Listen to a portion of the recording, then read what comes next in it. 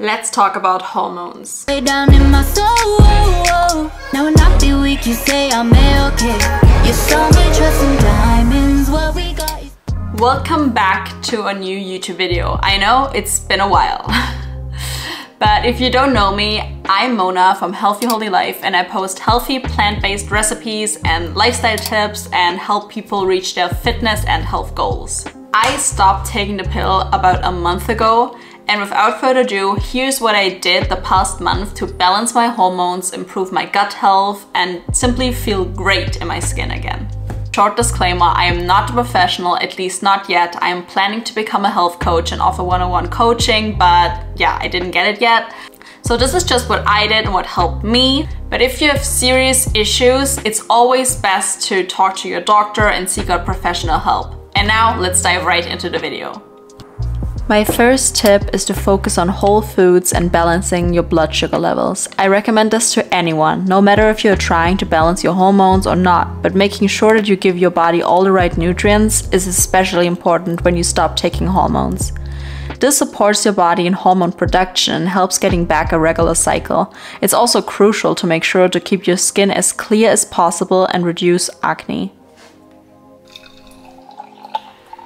Focus on including healthy fats. Examples could be avocado, nuts, no sugar added nut butters like almond butter or peanut butter, and seeds.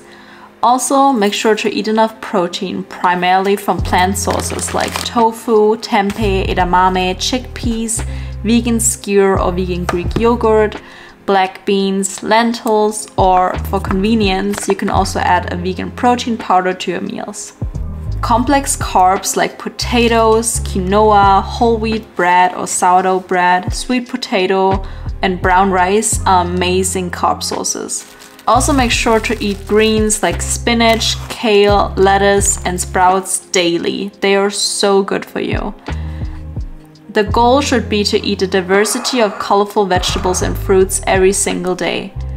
And also make sure to focus on supporting your gut health by eating probiotics from fermented foods like kombucha, sauerkraut, kimchi, yogurt, tempeh, or sourdough bread. Also make sure to eat enough fiber. Reduce your intake of highly processed food and sugar, caffeine, and alcohol, since they are all linked to cause hormonal imbalance. I know they taste amazing, but just make sure to find your own kind of balance.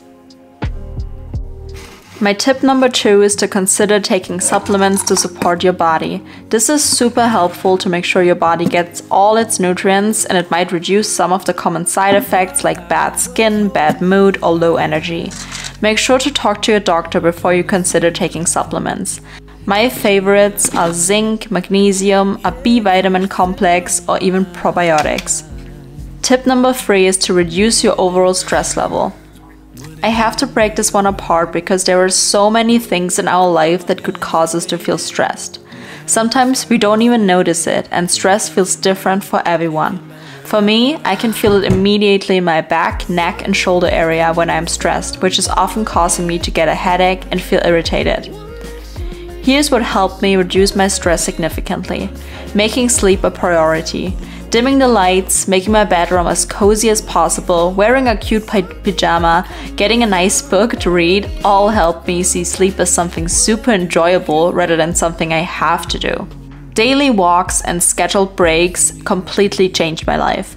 It's super easy to drown in work, school, or college work, but intentionally planning a just a 30 minute walk each day, or maybe even 10 minutes, or taking time to meditate, sitting down to have a meal in nature, and planning to have time for self care. This really made me appreciate the small moments each day that calmed me down and reset Regular exercise that does not stress you out. This is so important. I stopped doing HIIT or heavy weightlifting because I felt like it completely stressed out my body. Instead, I now love going on longer walks, doing Pilates, stretching, or lifting lighter weights while doing breaks whenever I feel like it. Don't feel the need to do a 30 minute hardcore HIIT workout um, without taking any breaks. You will still make progress. Thank you guys so much for watching. I hope these tips were helpful to you and let me know if you're interested in seeing gut healthy recipes um, or any other kind of video you would like to see and just drop it in a comment below. Bye! Baby,